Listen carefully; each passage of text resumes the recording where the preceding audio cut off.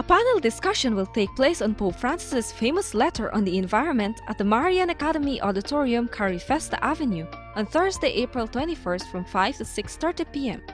The panel discussion aims to begin a national conversation on the meaning for Guyana of caring for our common home.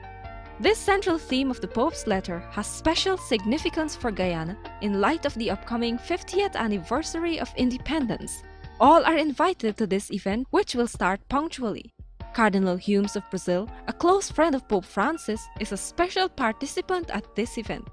Please don't forget, the date for this discussion is Thursday, April 21st from 5 p.m. at the Marian Academy Auditorium, Carifesta Avenue.